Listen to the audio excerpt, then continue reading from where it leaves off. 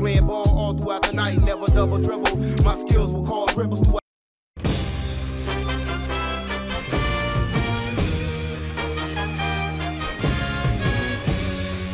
Hi, everyone. I'm Greg Gumbel at the anchor desk with my partner, Clark Kellogg. Coming up on College Hoops Tonight, we'll break down the recruiting wars this week with a look at the top recruit signing, as well as take a look at all the exciting games of the week. But let's start off with who we selected for our NCAA Player of the Week.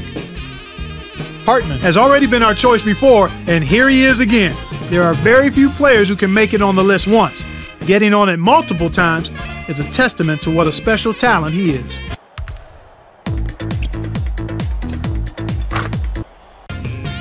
There's news off the court as well as on at this time of the year, as the top high school players in the country are signing their letters of intent. The signing of one player made an especially big splash. The UCLA Bruins are already celebrating, and all this is for a player that is yet to set foot on the university's grounds. Goff probably has the talent to go straight to the pros, but I'm really happy he chose to go to college, and I know everyone on that campus is thrilled as well. He's a high school legend where he grew up down south. He's going to be a very important player for this program, Greg. Not only was he a tremendous player in high school, but he was a tremendous winner as well, and he'll bring that mentality with him. When you find a player that has the ability to score and defend as well as he can, with a bulldog attitude to boot, you have a major building block. There was no shortage of excitement on the court in the past few days, so let's take a look at our games of the week. We have a real shocker here. I don't think too many fans saw this upset coming, which makes it even better. Brigham Young got the better of Michigan State. Yeah, Greg, nobody saw this coming. Michigan State, we're jockeying for a number one seed, but this might throw a wrench in those plans.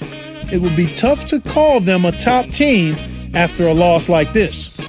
Bauma was not going to be denied. His 23 points led all scores. Watching him basically put his teammates on his back and single handedly carry them to the victory in a big game situation like this was stupendous.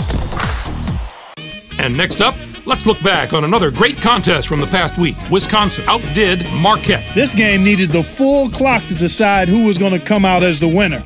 The action was so back and forth that the crowd never had a chance to relax the entire game. Wisconsin was going into this game looking to build some momentum, and I think they did it, Greg. This win really impressed me just in the way the players carried themselves.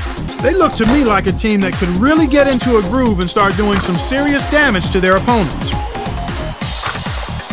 That'll do it for us here in the studio. For my partner, Clark Kellogg, I'm Greg Gumbel. Thanks for watching College Hoops Tonight, brought to you by State Farm, the number one auto insurer.